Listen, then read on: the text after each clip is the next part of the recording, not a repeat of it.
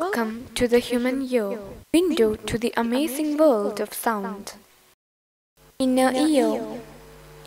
The inner ear is situated inside a bony case in the skull called bony labyrinth. The bony labyrinth provides protection and support for the delicate structures of the inner ear. There is a membranous structure inside bony labyrinth called membranous labyrinth or inner ear. The space between bony labyrinth and membranous labyrinth is filled with a fluid called perilymph. Perilymph plays a crucial role in protecting the inner ear. It also helps in transmitting sound vibrations from middle ear to the inner ear and maintains the proper functioning of sensory structures within the inner ear. The inner ear is a complex and delicate structure responsible for both hearing and body balance. Its main components are cochlea, which is responsible for hearing, three semicircular canals, and the vestibules, which are responsible for maintaining body balance. Membranous labyrinth is filled with a fluid called endolymph. Endolymph plays a crucial role in maintaining the proper functions of sensory structures responsible for both hearing and body balance. And it also helps to transmit sound vibrations.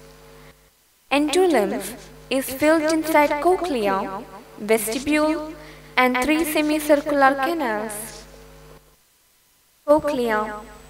The cochlea is a spiral-shaped, fluid-filled structure resembling a snail shell. It is the primary organ of hearing and converts sound vibrations into electrical signals that the brain can interpret as sound. Cochlea is a complex and highly specialized structure with several key components that play a crucial role in hearing process. Cochlea is divided into three fluid-filled chambers, upper chamber known as scala vestibule and lower chamber known as scala tympani.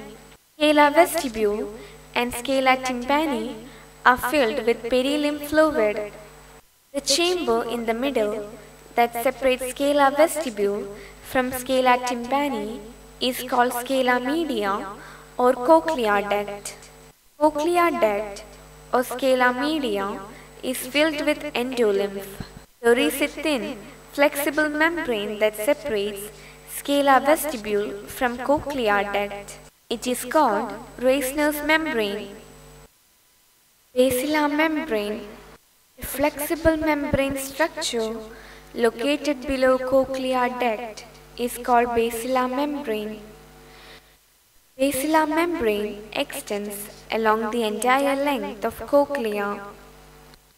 This membrane varies in stiffness from base to apex.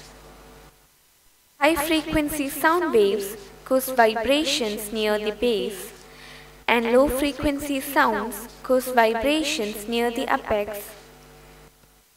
The basilar membrane contains thousands of tiny hair cells. These hair cells have hair-like projections called stereocilia that are embedded in an overlying gel-like structure called the tectorial membrane. These hair cells are responsible for transducting sound vibrations into electrical signals. Basilar membrane and the hair cells are together known as the organ of Corti.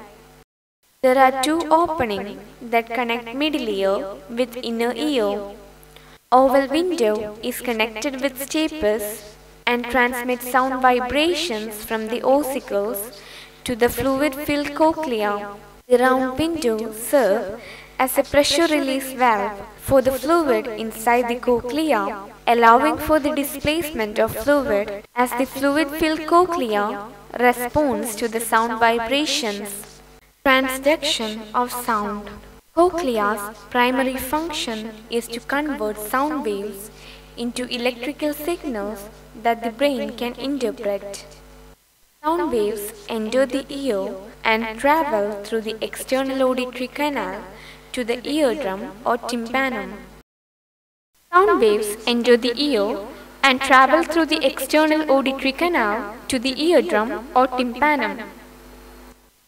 Tympanum starts to vibrate according to the sound vibrations. The vibrations from tympanum is transmitted through the bones in the middle ear to the oval window that connects the stapes from middle ear with inner ear. The vibrations from the oval window causes ripples in the perilymph of the scala vestibule. These vibrations travel through the scala vestibule and will reach to the scala media or cochlear duct and causes ripples in endolymph within the cochlear duct. The movement of the endolymph causes the basilar membrane to move and this will cause the movement of hair cells in the basilar membrane. And stereocilia, which are situated on top of the hair cells, are bent against the tectorial membrane and this will generate electrical signals corresponding to that vibrations. Auditory nerves will carry these electrical signals generated by the hair cells and transmit to the auditory processing centers in the brain where these signals are interpreted as sounds. There are three semicircular canals and two vestibules in inner ear which is filled with perilymph fluid and contains hair cells which help to balance the body.